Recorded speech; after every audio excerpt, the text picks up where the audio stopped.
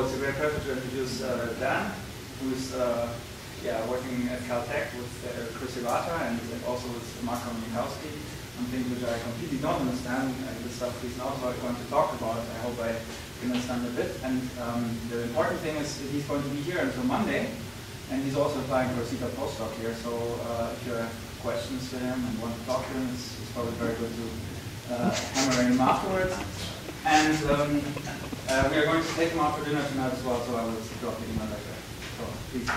Well, thanks Jens for uh, having me to give this seminar. Um, I'm going to tell you about work I've been doing with Chris Hirata on cosmological hydrogen recombination, uh, and in particular, two physical effects, very high, highly excited uh, Rydberg states and uh, a, a class of forbidden transitions that no one's bothered putting into the calculation just yet. So the motivation for this work um, is sort of twofold. Uh, one is to make accurate predictions for CMB anisotropies in light of the recent Planck lunch, and the other is to try to begin to make predictions of the spectra from recombination, the photons produced by the recombination uh, epoch. And this is something uh, Jens has worked uh, extensively on.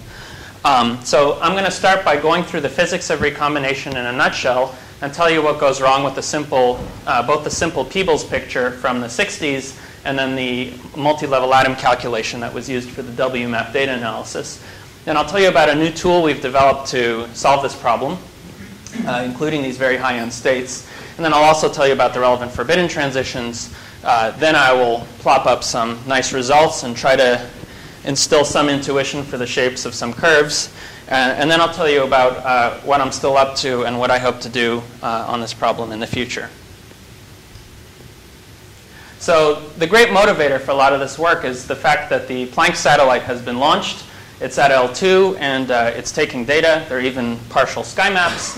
Um, and the real hope is that Planck is going to make something like cosmic variance uh, limited measurements of the CMB temperature and E-mode polarization anisotropies to angular scales of L of 2500 and 1500 uh, respectively. And the motivation here is that people have done a variety of Monte Carlo simulations, and this is really a redshift dependent statement, but the claim is that we want to predict the free electron fraction with somewhere between a few parts in 10 to the 4 and a few parts in 10 to the 3 accuracy in order to accurately make predictions of the CMB multipole moments for Planck. So just to put um, a little bit uh, more behind that statement, one of the things people are hoping to measure from Planck are the properties of the primordial density power spectrum. And so this um, is often characterized by an amplitude, some scalar amplitude, and a slope for the power spectrum.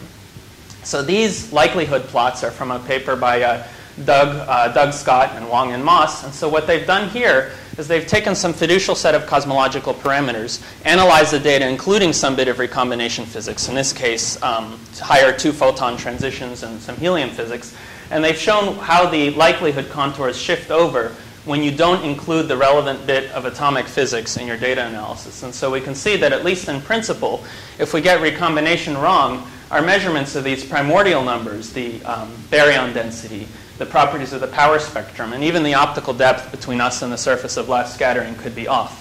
And the reason this happens is that a lot of the leverage on these quantities um, from Planck comes from the highest angular momentum scale, uh, sorry, the highest angular, the smallest angular scales, high L. And this is exactly where the details of recombination start to matter. And some of these numbers, n sub s, for example, can be related to the slow roll parameters of standard um, um, single field inflationary theory. And so if, we, if, we, if these measurements are off, inferences about the high energy physics of inflation from cosmological, uh, from, from CMB uh, could be off. And so sort of the lesson is that this high energy physics comes to us through a electron volt atomic physics filter. And we need to do that right in order to get 10 to the question mark GeV physics right. In other words, the unknown physics of inflation. And even if you don't like inflation, um, inferences about the cosmic reionization history through our measurements of the optical depth between us and the surface of last scattering could also be off, not as dramatically, um, if we do the recombination problem incorrectly. So what are the physical effects here? Well, the CMB comes to us from the epoch when photons kinetically decouple from electrons. So that's sort of described by this reaction, and it's sensible to think that the electron density is going to be intimately connected to the properties of the CMB, and that in turn is influenced by the recombination problem. In terms of all the acoustic mode equations, the Boltzmann hierarchy that you run anytime you see those CMB C sub Ls, this guy shows up all over the place. This is the um, probability that a photon last scattered at some redshift z. And so this depends on the electron density, and that's going to shift over CMB peaks, change their amplitudes. There are a few simple ways that the free electron um, fraction changes the gross properties of the CMB anisotropies. One is that we rescatter, primary uh, we rescatter the primary anisotropies of the CMB off of free electrons left over from recombination, the frozen out electrons along the line of sight. And that suppresses the C sub Ls at the smallest of scales. So just to give you uh, a picture for what's going on there, we have some CMB hotspot. We have photons coming to us from the surface of last scattering. Here we have some leftover electrons from recombination. And then these get scattered out of the line of sight, making the spot a little bit colder. And so that's the physics there. Uh, one of the other um, okay. Uh, one of the other physical effects here is that there's a high L damping in the CMB anisotropies. This is so-called Silk damping, and that picks up at the length scale of a random walk of a photon as it Thomson scatters off of electrons. And again, that length scale, scale is related to the free electron density.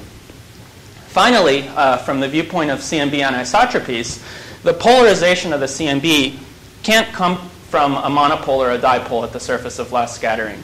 Uh, and if we just think about two unpolarized um, photons, two polarized uh, photon streams coming towards an electron and scattering out in this direction, we can sort of geometrically see that unpolarized light in uh, leads to unpolarized light out. But if we do have a quadrupole moment in the incoming radiation field, we can produce a polarization from an unpolarized field. So how does this connect to recombination?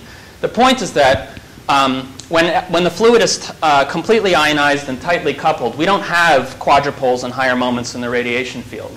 So the length of the recombination epoch is crucial because first you have to pick up a quadrupole, um, and that requires the plasma to be in the epoch when it's becoming more neutral. And then you need to rescatter that quadrupole to produce polarization. And then moving from CMB anisotropies um, to the spectrum of the CMB, it's thought that the recombination epic, this very nice uh, plot is from one of uh, Jens's papers, one of Jens's, Jens's review papers on the topic.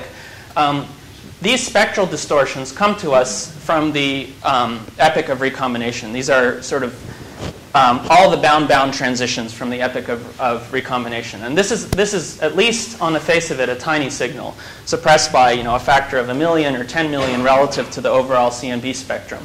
But there is some hope uh, that that could be detected someday. Um, you know, how realistic that is sort of seems to depend on who you ask. But this would be really neat because it would be a direct probe of our knowledge of recombination physics, um, you know, unfiltered through this whole Boltzmann hierarchy of anisotropies. It'd be a, a global homogeneous signal across the whole sky, and it would be uh, a fantastic thing to detect it. Um, the simplest sort of physical picture you might hope to have for recombination is just one where you assume that this reaction, N just denotes an excited state of hydrogen, so we have the whole hierarchy of states. We could just write down the Saha equation. And when we do that, that tells us that the free electron fraction falls to about a half when the temperature is around 0.3 eV, or around the redshift of 1300. Uh, that's great, but all the subsequent evolution can't be described by Saha equilibrium because all of the relevant rates, sort of shoved into this parameter here, are less than the Hubble parameter, starting at a temperature just a little bit below this. So you actually have to go solve the coupled rate problem to do the recombination problem correctly. Okay, here we go. Um, so there are bottlenecks to this overall to the overall physics of recombination. Uh, the first bottleneck is that if you recombine to the ground state, the photon you produce is going to ionize its neighbor at a very fast rate relative to the expansion timescale of the universe. And so ground state recombinations are totally ineffective. So the next thing we want to do is we want to consider um, decays, uh, recombinations to excited states. But if we find ourselves in an L equals 1 state, we're going to very rapidly uh, decay to the ground state. But again, that photon is going to re-excite its neighbor very quickly. So we get trapped in these resonances, which are excited states that are pretty easily ionized, and so that slows down recombination. The key realization of uh, both Peebles and, and Sunyaev was that we can escape from these bottlenecks off any resonant bottleneck through essentially two physical processes. One is a two photon decay, which takes this energy and smears it over a continuum so we don't resonantly, resonantly re excite things. And the other thing we have working for us is the expansion of the universe. If we're sitting ever so slightly redward of line center, the Hubble expansion is going to shift us off line center, uh, and some fraction of those photons are actually going to escape. So in the Peebles recombination story, or the, the Sunyaev recombination story, the overall recombination rate is given by something like this expression, where this term here just tells us a recombination, temperature-dependent recombination rate to some state, and it's a two-body process, so there's our free electron abundance squared. And then we just have photoionizations out of that state with some phase space factor that relates the ionization and, and uh, recombination rates. But none of that included the bit of physics I just told you about, these bottlenecks and these escape routes. So that sits here. And in the simplest picture, when n equals 2 is the bottleneck, we can actually work out what that suppression factor is. It's given by this expression. So first of all, we have the Hubble redshifting term that tells us how quickly uh, we're able to recombine by escaping off resonance. Then we have this 2s to 1s, 2 photon um, decay rate. And finally, we have this ionization term. So all this term does is it um, parameterizes the efficiency of recombination. This is sort of the sum total of things that can happen to an atom that's trying to recombine if we're just including this n equals 2 bottleneck. And this tells us uh, how efficiently we recombine. So this two it turns out that if you compare the ratio of these two processes, the two photon process actually dominates until the latest of times, until uh, redshifts less than 850. Uh, so if you're ever teaching a quantum mechanics class and your students uh, are being lazy and don't want to learn about forbidden transitions, you should just tell them that half the atoms in the universe form through forbidden transitions. So this simple Peebles uh, uh, Sunyaev three-level atom picture was the state of the art for 30 years, and that's shown by this figure here. And we can see just how badly Saha equilibrium fails. And we can get some intuition for the dependence of things on cosmological parameters. As we drive the overall matter density up, the Hubble expansion is faster, and so things freeze out earlier, and we're left with more free electrons at late times. Whereas if we drive the baryon density up, um, recombination is more efficient and faster, and so we're left with fewer electrons at free times, at late times. But these models from the 60s made three key physical assumptions that break down at a level that's actually going to be important for Planck data analysis. The first is that they assume that the populations of the different angular momentum substates of the hydrogen atom are just equal to the total population of a shell multiplied by this factor. In other words, they assume perfect statistical equilibrium between the different angular momentum substates. The other thing Peebles and Sunyaev assumed was that the, the, um, the excited states are related to the ground state population just using a standard Boltzmann thermal equilibrium factor, both of these assumptions break because essentially none of the relevant rates can keep up as the universe cools and becomes really diffuse. And the other thing assumed there is that the matter and the photon temperatures are the same.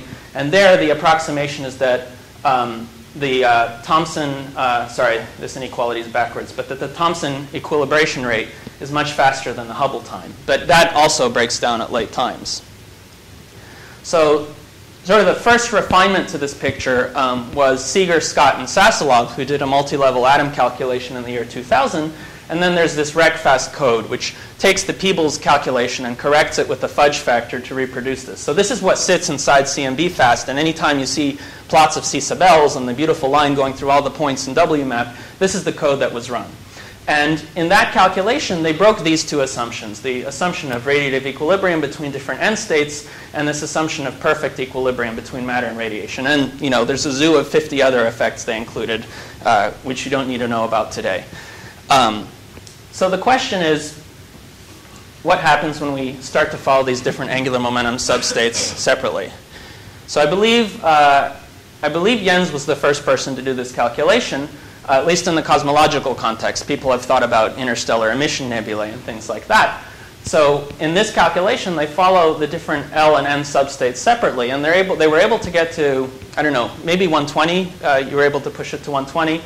And the thing is that at least sort of so there's some subtlety with the statistical significance of these things, but if you just look at the corrections at nmax of 100, you're still seeing something like, you know, at least in the 2005 paper, there was a 0.1% correction. So this was the motivation for us to attack this problem and try to find out how high in n we have to go for the recombination history to converge accurately enough for Planck data analysis. And we can get some sense for how this uh, resolution effect is going to change things qualitatively. Because of the dipole selection rules, uh, we can only uh, move an angular momentum space with L of plus or minus 1. We're going to have atoms in highly excited states that get stuck. And so that's going to slow down recombination. But because we have to keep track of all these different states, the problem gets hard. On sort of your standard uh, workstation, it takes six months um, to uh, do the calculation for nmax of 300 using the old codes. So the question was, well, there's sort of two, two ways to approach that. One is, okay, let's go get, you know, a 100 core machine and just throw a truck at it. Um, but the thing is, we want to turn knobs. We want to make sure we got all the physics right. We want to calibrate things for parameter estimation. So we wanted to think of a, of a way to solve this problem tractably on, yeah? I just recall, quadrupole or magnetic dipole would be down in rate by what, a factor of alpha? That's right, yeah. So that isn't obviously small compared with 0.1%. Uh, that's an excellent point. So um, we thought those might be uh, uh, something you might want to take account of, and that's in the code, and uh, I'll give you some sense for that. It's the actual effect ends up being surprisingly small, but that wasn't at all clear to us from the order of magnitude calculation. So again, from uh, Jens's 2006 paper, here's the difference between the resolved L and unresolved L case. And so we see uh, exactly as, as I was saying on the previous plot, on the pre- previous slide, uh, we get bottlenecked in these highly excited states. And so we don't recombine as efficiently uh, when we separate these different angular momentum states. And so we see that at late times, we have more free electrons because the recombination process hasn't been very efficient. So what's the tool that we bring to bear on this problem? Well, we implement a multi-level atom calculation. So we're just keeping track of all the bound-bound rates uh, between different bound-bound states. Um, and we also keep track of all the recombination and photoionization processes, uh, including stimulated emission, which surprisingly matters sometimes. Um, and then finally, in this paper, we've just included the 2s to 1s2 photon transition. Chris has done some very nice work, in, and I think you've. Have, did you guys do a paper on, on this one too? The very highly excited states, or uh, the two photon rates? Yeah, yeah. yeah. So, I mean, people have worked out the effect of uh, two photon decays from very highly excited states. So here we've restricted ourselves to this strongest bottleneck, and we just want to explore the effect of convergence as you add these very highly excited states. So the free electron fraction is just evolved by this equation that the, free, uh, the, free, the time derivative of the free electron fraction is minus the time derivative of the population of ground state hydrogen. And there's two contributions here. One is this escape channel through the two photon to one photon decay. And this uh, second term here is just due to um, the reverse rate, absorbing two photons and exciting a hydrogen atom from the ground state to the 2s excited state. And then this term tells us um, how efficiently we get to the ground state uh, using Lyman series uh, transitions. So, of course, this depends on the relevant Einstein coefficients. But as I mentioned, there are these bottlenecks uh, due to these resonances, but there's some escape probability due to the expansion of the universe. So that lives in this Sobolev escape probability. And then we have a bunch of phase space factors you don't need to know about, uh, or if you do need to know about them, you know about them. Um, and then so this, the overall physical effect of this term is this is just telling us about the overall current to the ground state uh, due to the Lyman series of transitions. So how do we treat this escape probability? Uh, there's this very nice expression for the probability of escape off resonance. It's just the Sobolev approximation. And this depends on the Sobolev optical depth. And so there's a few things that matter here. One is the density of resonant absorbers, basically how many targets we have for our photons. And this is the Einstein coefficient. So this is the sort of the overall rate, how efficiently we're absorbing. And that's a rate, and we're comparing that to the expansion rate of the universe. So this tells us how efficiently we're escaping off resonance. So the Rex sparse core code can also uh, include uh, radiative, radiative feedback uh, that's a complication to the problem that slows things down. So here we're just considering the no feedback case uh, and including the effect of these very highly excited states. And a large fraction of the, of the literature uh, in the last year or two on recombination has been on helium or on corrections to radiative transfer. Um, so here we're focusing on the effect of these very highly excited states. But there's a whole zoo of other things uh, that are, have been shown to be important at various levels of statistical significance. Uh, one is deviations from the steady state approximation uh, in the radiative transfer equation. Um, most people just assume purely incoherent scattering. There's a correction from coherent scattering, a correction from atomic recoil, diffusion near resonance lines, line overlap between the highly excited Lyman series, feedback from hydrogen and helium, higher-n to photon processes in hydrogen and helium, deuterium recombination, uh, which uh, Jens and Jeffrey are working on, and additional effects, uh, a whole slew of more subtle things uh, in helium. So just to give you some sense for the, the size of the problem. But the evolution equations uh, that we would sort of a priori have to solve for the excited states can just be written as uh, a matrix rate equation and I want to emphasize the point that um, we've left the ground state out of this vector, and there's a reason for that. That is part of the way we make the problem computationally tractable. And so this uh, population vector just contains the populations of all the different angular momentum substates of the hydrogen atom. So all the n for a given L live inside this guy. And the rate matrix um, is block tridiagonal, and that's not just a computational statement. There's physics there. Uh, so the point is that these diagonal blocks contain all the bound-bound transitions out of some state uh, x, uh, photoionization, and two photon transitions to the ground state. And the off-diagonal blocks just tell us how all the other states feed back into this. And the block tridiagonal structure, this matrix, is just a function of the fact that we have this electric dipole selection rule. So this matrix is sparse, and that's why the problem is much smaller than you would naively think. And then finally, because we've left the ground state out of this vector here, uh, anything that depends on ground state populations, we shove into this source vector, um, or on continuum populations. So that's the, uh, that includes direct recombination to some state L, and one and two photon transitions from the ground state. So one of the key simplifications uh, that makes this problem much easier to solve than you would naively think is that the rates on this uh, side of the problem are really fast uh, much faster, in fact, than the cosmological rate on this left-hand side of the problem, as long as we're leaving the ground state out of this x here. So that's why we do that.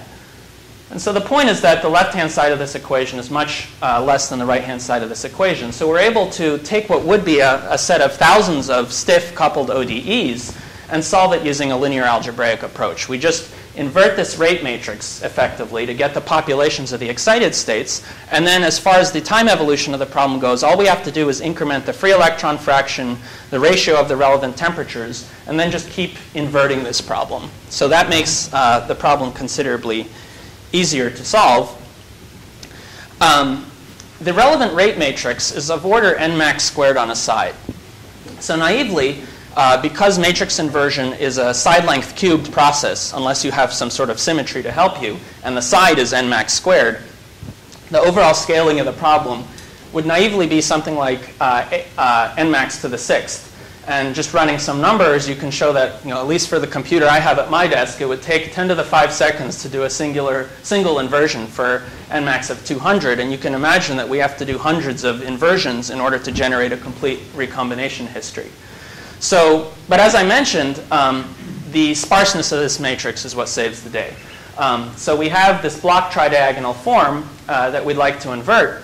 And so we can rewrite the problem. These m's are just the different blocks, like so. And so this just tells us that some state L just talks to its neighbors in angular momentum space with some source vector.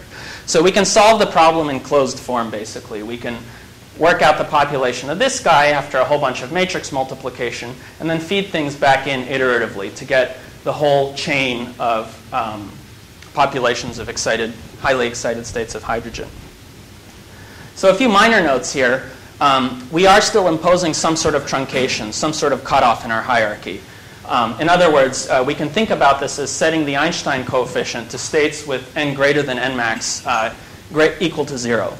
So that's something you know that we'd like to get a handle on eventually is to figure out what is the error from all the states we're leaving out of the problem. Uh, to move from sort of the question of absolute convergence of the recombination, from the question of relative convergence to absolute convergence of the recombination history. But the nice thing is that the scaling of the problem now with, the, with this new code empirically seems to be something like n max to the 2.5. So we're able to run uh, the case of n max of 100 in less than a day instead of uh, six days or, or, four days, something like that. And the n max of 200 case, uh, which people weren't able to calculate in this L splitting case, can now be run in four days. And in fact, we can even do the n of 300 case. Uh, that uh, takes two weeks, and I haven't put that in these plots yet. But we've gone up to n max of 250. So, uh, so that's the high-n problem.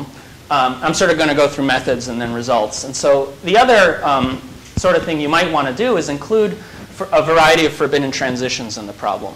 And so one forbidden transition is these uh, higher-n two photon transitions in hydrogen, which are in, well, okay, you might see the number 5 sigma floating around in some places, but they're very important for Planck data analysis. They move the likelihood peak over by a, by a whole bunch.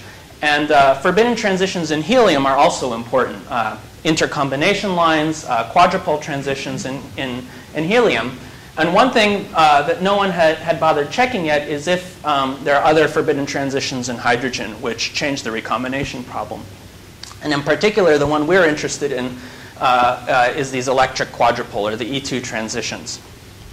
Um, the magnetic dipole transitions are suppressed by, I think, two or three orders of magnitude relative to these guys. So we wanted, I mean, it was on our list, right? If the E2 transitions are important, it, it would be sensible to check the M1 transitions as well. Um, as you'll see in a little bit, they, these end up being irrelevant, so we, we sort of closed the book on that. But the, um, why would you consider these transitions, which, you know, okay, they're suppressed by a factor of alpha, you might think they're irrelevant. Um, but the escape probabilities for these relevant um, for these, for these resonant escape probabilities in the Sobolev approximation scale like so. So for any optically thick limit, we can forget about this little exponential. And so the, the escape rate, the effective rate, goes as the Einstein coefficient over the optical depth uh, once we saturate lines. But the optical depth itself goes as the Einstein coefficient. So it sort of seems that once we start looking at a, at a whole bunch of different saturated lines, uh, you know, quadrupole transitions could at least conceivably be as important as, as dipole transitions. That ends up not being the case, but that was the motivation for considering them. Um, so quadrupole transitions have the selection rule of delta L equals plus or minus 2, and our whole inversion scheme sort of hinged on having delta L equals plus or minus 1. Um, so we, you know, it's it would have been easy enough to generalize, but just as a first pass, we decided to ask the question if if there's a series of those rates that's uh, much faster than another. And it turns out there is. The quadrupole rate to the ground state is much greater. Uh, things scale as the frequency to the fifth power than the rate to excited states. And even if we're comparing with the quadrupole transition rate from other states uh, to m equals 2 with the, the rate to the ground state, uh, we have a ratio of over 1,000. So because um, because we can only we can at least that as a first pass restrict ourselves to the ground state quadrupole transitions that lets us solve the problem uh, with very little modification to our machinery. And what's going on here is just that we have, uh, in addition to the quadrupole lines being optically thick, the Lyman lines are optically thick. So an ND to 1S transition is immediately followed by a 1S to NP transition. So you can essentially treat this as a current from D to P states um, that's proportional to the relevant uh, ground state Einstein rate multiplied by the uh, fraction of atoms in the ND state. And so the nice thing about approaching the problem this way is it lets us keep the same sparsity pattern and use the same machinery to include this effect. And of course, we could also have the reverse process starting in a P state going to a D state. So this is the overall quadrupole transition rate. So we have a forward and a backward rate, and this 5 thirds is just one of your usual detailed balance um, factors that comes from ratios of the degeneracy of the PND states. So that's the machinery. Um, now I'm going to tell you about the results of our calculation. I'm going to start by telling you a little bit about the state of the gas, um, how bad the deviations from equilibrium are, and then I'll cut to the chase with the free electron fraction and the microwave background multipole moments. So here I've shown uh, deviations from the Boltzmann equilibrium case of the statistical equilibrium case between different L for a 140 shell calculation uh, for the 25th and 140th shells at three different redshifts. So there are a few things you can take away from this. Uh, the first is that these lower L states, because they're not as bottlenecked, they can easily cascade down, and so they're relatively underpopulated. But the L equals 0 right state is a little bit pinched because you can't go to lower L than L equals 0. So these aren't quite as underpopulated. And then finally, you have these higher L, and these are really bottlenecked by this delta L equals plus or minus 1 rule.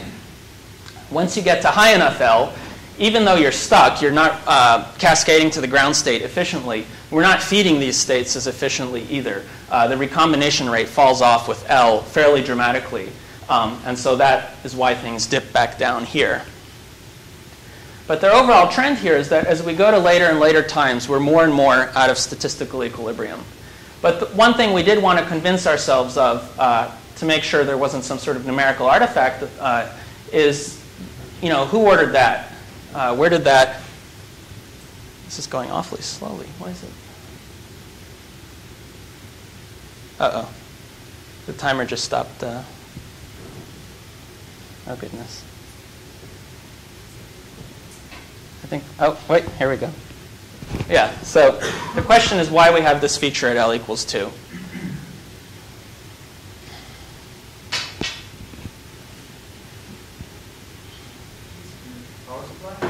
Some,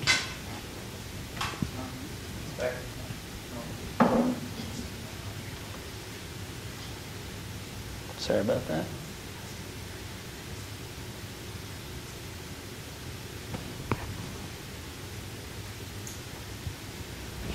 Sorry about that.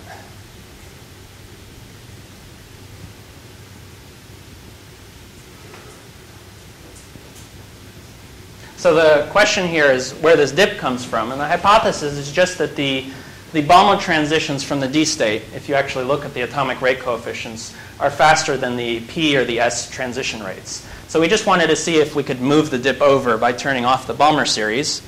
And indeed, when you turn off the L equals 2 Balmer lines, the dip moves from L equals 2 to L equals 1. So that feature is, is physical. It's not, it's not spurious.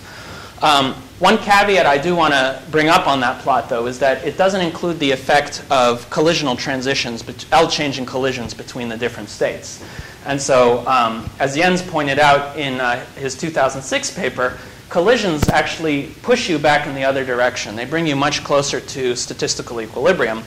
I think that uh, in most cases this ends up being pretty important for the spectrum of the radiation, radiation but not as important. It doesn't have as big of an effect on the free electron fraction.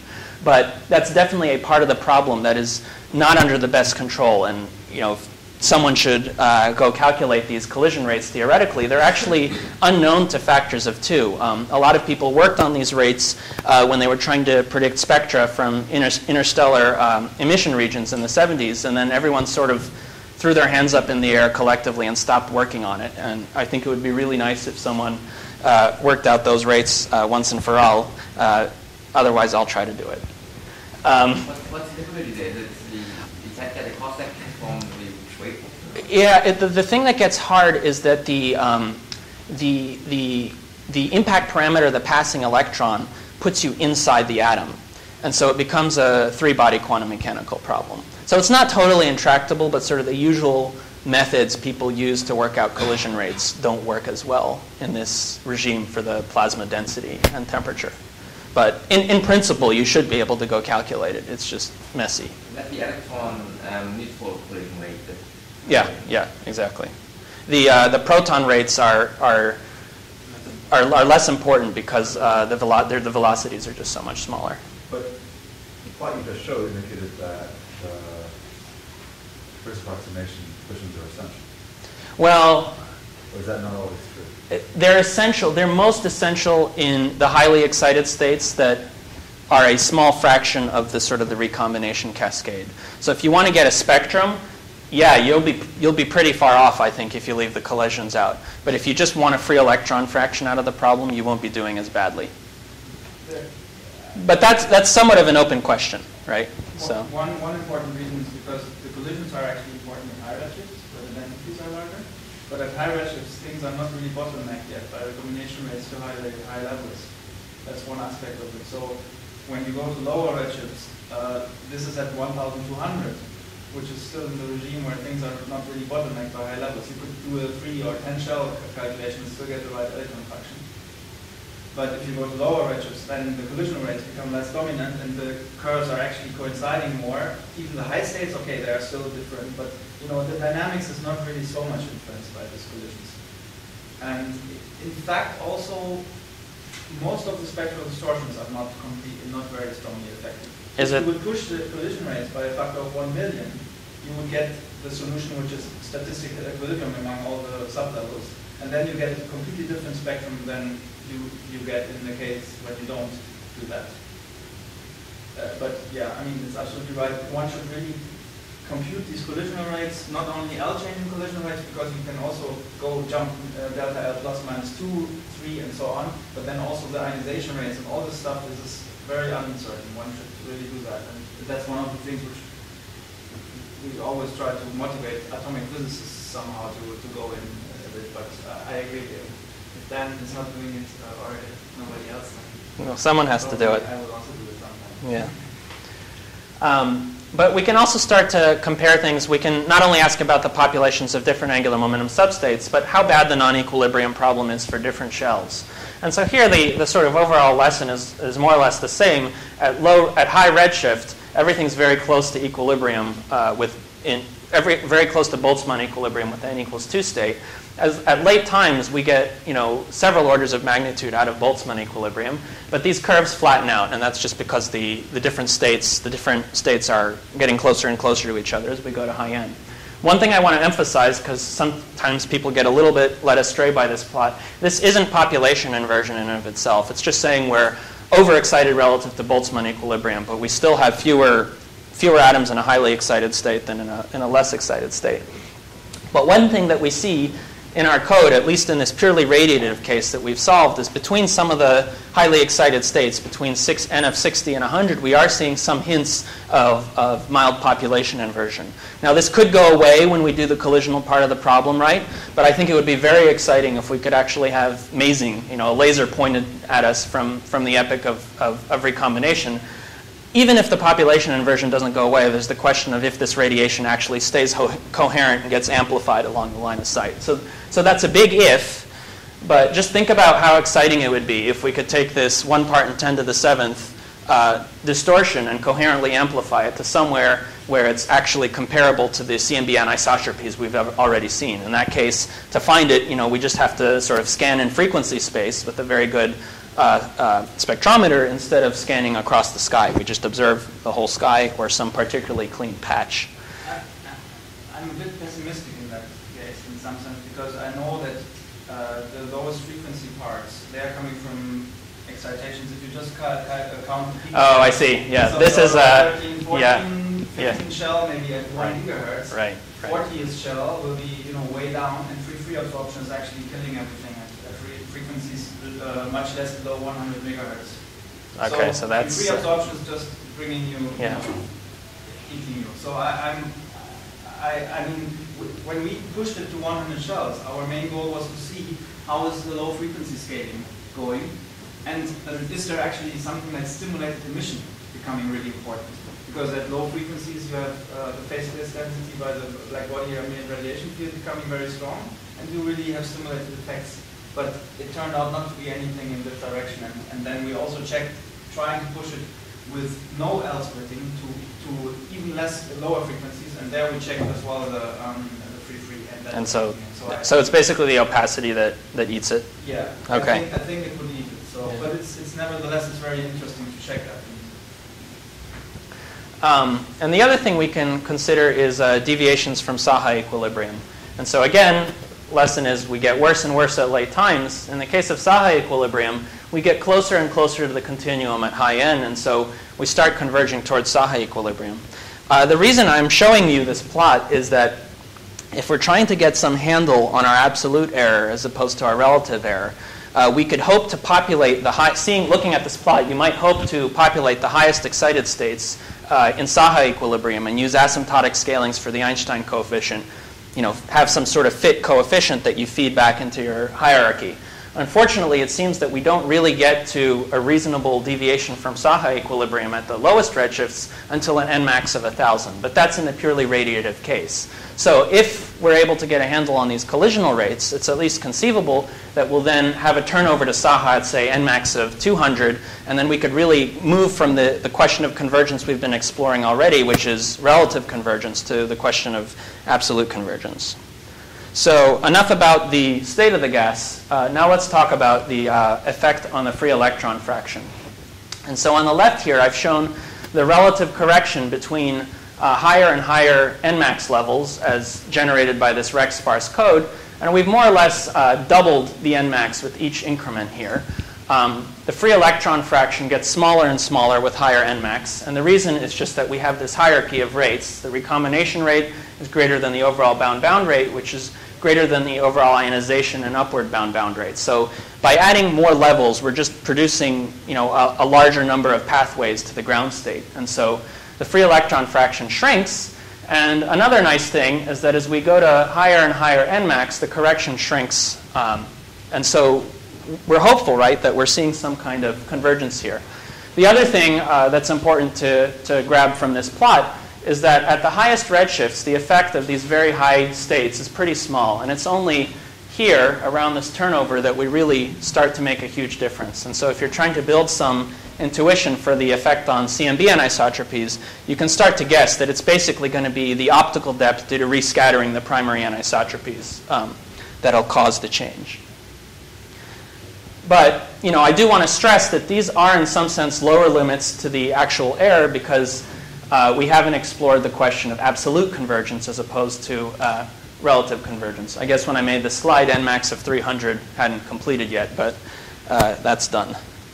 So that's the effect from these highly excited states. The next uh, question we can ask is about the effect of electric quadrupole transitions. And so here uh, we've shown the free electron fraction without the quadrupoles as opposed to with them. And so again, these guys speed up uh, recombination, and that's just because they give, a, they give us a way for the different L states to talk to each other and for us to find our way to the ground state more efficiently. So the overall uh, effect here is just that as we add quadrupole transitions, uh, we speed up recombination a little bit, um, particularly at early times. And uh, the reason uh, that things work that way is that if you look at this overall rate due to quadrupole transitions, it always wants to push you towards equilibrium. So it turns out that at, for n states of n less than 5 at the earliest times, the overpopulation is in the d direction relative to p. So this rate is going to give us a flow of atoms from the d states to the p states. Those guys are going to decay uh, via Balmer transitions to the 2s state. And at the earliest of times, this 2s to 1s 2 photon rate is the dominant recombination channel. So by funneling things essentially from, you know, they would have been here and now they're here, so we're speeding up recombination. And so that tells you sort of the overall sign of these curves. Then once we look at n greater than 5 for these early times, the uh, overpopulation turns out to be in the other direction. So we flow from the p states to the d states, which find their way to the 2p state. And this is a subdominant recombination channel at the earliest times. So this slows you down relative to what you would have had by leaving out these highly excited states in the quadrupole case. So that's why things um, start out with an enhancement in recombination, and then that gets less and less dramatic as we um, include highly excited states at early times.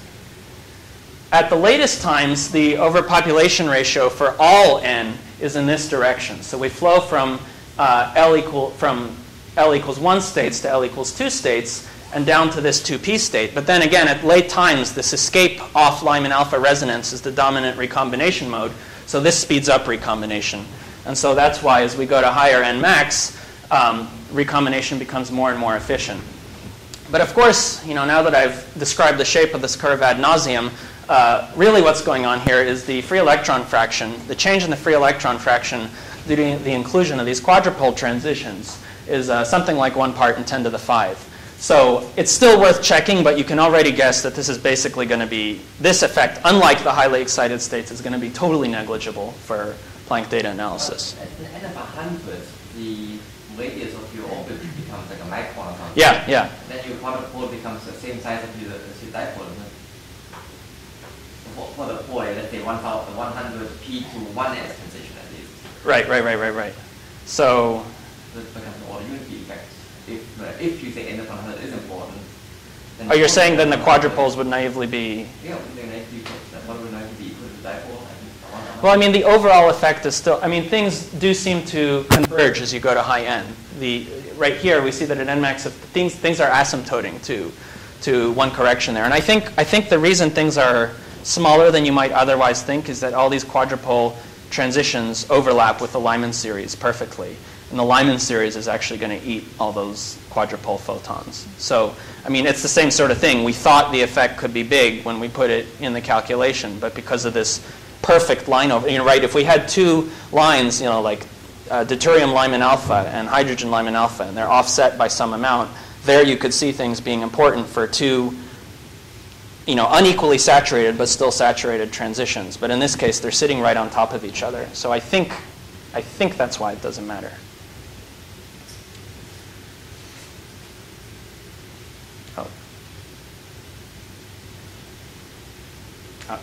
So the next thing we did is we took the free electron fraction, these uh, CMB, uh, these, these recombination histories, and we wanted to see what the effect on microwave background anisotropies was.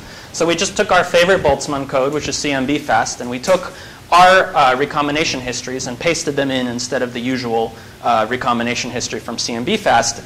And you know, our code only runs from a redshift of um, you know, 1550 because we're just treating hydrogen and everything's in perfect Saha equilibrium, at least for hydrogen at earlier times. So we glue it on smoothly to the RecFast output, and then at early times we do the same sort of thing. And then we start comparing the temperature, temperature, anisotropies in the different NMAX cases uh, with one another. And so there are a few things going on here. Uh, the first thing that you should notice is that at the lowest, at the largest angular scales, or the lowest L, these different recombination histories uh, are indistinguishable. And the reason is that these are scales that are super, uh, super horizon at the surface of last scattering. They're acausal scales, and so, I mean, of course, everything shows up in the line of sight integral, but at least from a sort of heuristic point of view, these are going to be almost irrelevant uh, at low L. But as we go to higher and higher L, um, what happens is that as we add n, the lower free electron fraction at late times drives down the optical depth, and this in turn enhances the CMB anisotropies. And so this correction is positive, but again, as we go to higher and higher n, we're seeing um, a smaller and smaller correction. Now it looks from this plot like we're still in like we're still in trouble. Like the correction at an nmax of 250 is still comparable to this sort of overall average sample variance from Planck. That's essentially if you take the whole Planck sample, assume cosmic variance error bars at each L, and then ask how well on average you want to predict all the C sub Ls if you sum over the whole sample. But this doesn't tell the whole story, of course, because in reality you have noise, and so um, we're going to be okay. Um, we can play the same game with the E-mode polarization anisotropies. And in this case, um, because we're rescattering uh, primary anisotropies, we no longer have this vanishing of the differences between the curves at, at low L, because this is no longer coming from a, a super horizon perturbation in the actual uh, density field. And again, um, you know, polarization is messier, right? Because as I mentioned in the earlier plots, the, the width of the surface of last scattering, at least in principle, is crucial uh, towards setting the amplitude of the polarization. So if we sped recombination up, we'd make that surface thinner, and that would lower the level of polarization. Um, but because the change in the free electron fraction that we're considering is a late time effect, that's essentially irrelevant for the bulk of the CMB visibility function. So what happens is, just like with the temperature anisotropies, the polarization anisotropies get rescattered by free electrons on the line of sight, and so the trend is exactly the same. The next question we could ask, of course, uh, just to be safe, is whether the quadrupole anisotropies, you know, we saw that the change in the free electron fraction was at most one part in 10 to the 5, but that stretched over a fairly thick plateau in redshift, so we wanted to be sure that that doesn't cause any uh, observable differences in the CMB, uh, in the CMB uh, anisotropy multipole moments. So here we've done the same sort of thing with the quadrupoles, comparing the C sub L's with and without the quadrupole transitions. And we see, first of all, that things converge with Nmax really quickly in this case. And second of all, that the overall perturbation to the CMB uh, anisotropies is less than a few parts in 10 to the 6. So it's undetectable, but marginally so. So I think the calculation was worth doing. In this case, for the quadrupole case, um, again, adding more shells lowers your free electron fraction, which lowers your optical depth and drives up um, your C sub Ls. But of course, uh, we're at best uh, going to be cosmic variance limited uh, with Planck or any future CMB experiment. So you can basically forget about these quadrupole transitions. So EE is a factor of two, right? Uh, let's see, one second. Yeah. So for EE, they're, uh, they're a little bit more important, uh, but it's still, you know, uh, several parts in 10 to the sixth. And so again, uh, remember that you can forget about them, basically. So the next sort of thing uh, we can do is we can really start to ask how quickly things converge with Nmax. And so here, just at a few redshifts, we've plotted the difference in the recombination histories as a function of Nmax. And so, you know, we have some sort of turnover here, but at the highest n, you know, I can put a ruler through these lines. I don't know how convinced you are, but the, um, the relative error between different Nmax turns out to scale very nicely uh, as something like Nmax to the minus 1.9. So if the true error is described by a power law with the same index, there's a one-to-one mapping from the relative error to the absolute error.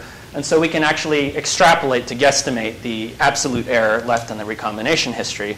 Of course, that won't really be an, an ironclad statement until we have this sort of source term for states past our cutoff and have some sort of scheme involving collisions and, and Saha equilibrium populations at the highest states to close the book there finally.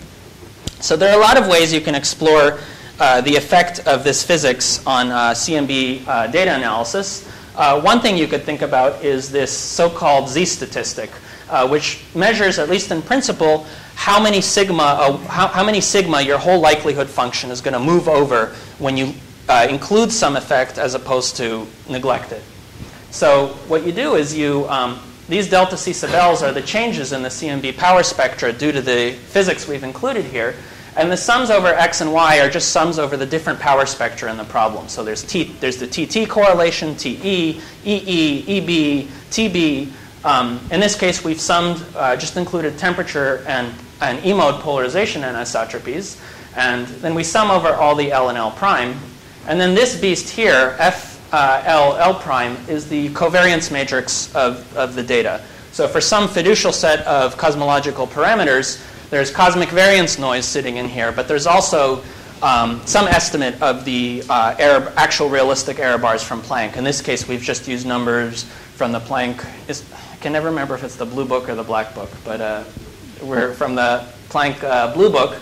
And so we can get an estimate, you know, if we extrapolate, you know, uh, to our total error for some nmax, we can ask how far the likelihood peak um, moves over for, uh, for a given nmax value. So for an nmax value of 64, we move over something like 1.8 sigma. At an nmax of 128, we move over less than half a sigma, so we're, we're pretty much totally converged. But if you play the game up to nmax of 50, the inclusion of um, highly excited states is going to move your likelihood peak uh, over to 0.14. But as you already saw, the overall effect of these highly excited states was just the amplitude of, of, of the effect at the highest L. So you can already imagine that the um, A sub S, right, the amplitude of the power spectrum is going to be the dominant degeneracy there. But of course, we're not going to measure that perfectly from the CMB on its own because the amplitude of the power spectrum is degenerate with the optical depth at these scales. So even though this likelihood peak moves over uh, something like 2 sigma from this estimate, it's only when you start combining the CMB with other data sets to break the degeneracy between the power spectrum and the optical depth that you're actually going to start to have to worry about the effect of these really highly excited states. So to wrap up, um, we have a new tool, uh, RecSparse, uh, which will quickly calculate recombination histories uh, in the pure hydrogen, purely radiative case, uh, but including all these different transitions. And we've shown that um, highly excited states, at least if you trust the Z statistic uh, and the extrapolation I mentioned, are going to be relevant for CMB data analysis, but these electric quadrupole transitions uh, can be safely forgotten. And uh, just to uh, give you some sense of where I'd like to take this problem in the next few months, um, one of the students in our research group, uh, Yacine Ali-Haïmoud, has developed a really nice uh, formalism correcting the Sobolev approximation for the effect of overlapping states at high n. And so one thing that should be fairly straightforward to do is to take this very elegant formalism he's developed and to put it in our code instead of the Sobolev probabilities to see if that causes um, an observable change in the microwave background multipole moments. The other big to do, and, and this is sort of the thing I'm, I'm most eager and, and also most nervous about, is um, developing a cutoff method for these levels we've excluded. So putting things in Saha equilibrium um, and then hoping that the collisional rates will, will bring us into a regime where we can uh, honestly do that. Um, another thing that would be good to do would uh, to start doing Monte Carlo uh, analyses uh, with different permutations of combined data sets instead of just using the Z statistic. And finally, um, to sort of go check for ourselves if, uh, if these cosmological masers are indeed eaten up by, uh, by the opacity. So I'll stop there.